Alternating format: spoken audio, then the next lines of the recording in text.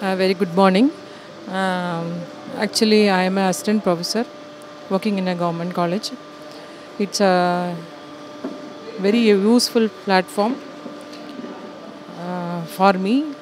Uh, definitely, it will be very useful for student also. So I attended one course in IIT Bombay.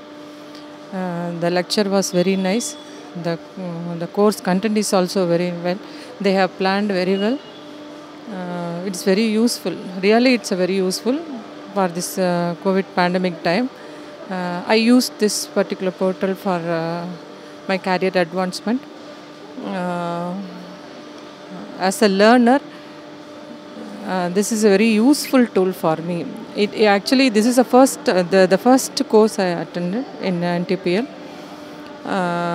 Even it encourages me to do more courses because the lectures, uh, the content, uh, the um, course material are very interesting. Uh, I learned a lot. Even I can also insist my student to enroll more for this kind of courses. Thank you.